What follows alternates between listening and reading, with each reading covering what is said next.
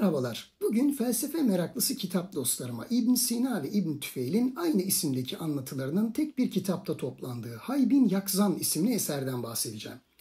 İlk felsefi roman olarak tanımlanan bu anlatıda çevremizdeki fiziksel varlıklar üzerinde düşünerek sadece akıl yoluyla Tanrı'ya ulaşabiliriz argümanını Hay isimli ıssız bir adada kimseyle görüşmeden yaşamış bir kişinin girdiği yoğun bir düşünce iklimi sonucunda ulaştığı sonuçlarla ispatlıyor.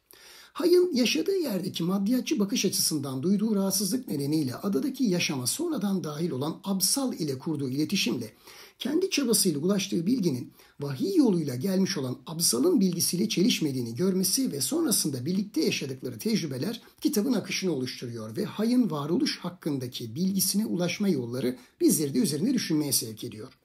Hay'ın akıl yürütmeyle ulaştığı ve Plotinos'un evrenin nasıl ortaya çıktığına dair südur adı verilen fikrini daha iyi anlayabilmek için südur teorisinin Farabi, İbn Sina gibi düşünürler tarafından İslam felsefesine uyarlanmış hali hakkında bilgi sahibi olmak gerekiyor. Eserde her ne kadar bu teoriye değinen bir bilgilendirme yapılmışsa da konuya yabancı olanların öncesinde biraz daha iyi öğrenmelerinin anlamalarını kolaylaştıracağını belirtmeliyim. Daniel Defoe'nun Robinson Crusoe'suna ve akletme yolu itibarıyla Bacon'dan Spinoza'ya kadar birçok düşünüre ilham vermiş olan bu kıymetli eseri de değerlendirmelerinizi sunuyor. Bir sonraki kitap tanıtımında görüşmek üzere diyorum. Hoşçakalın.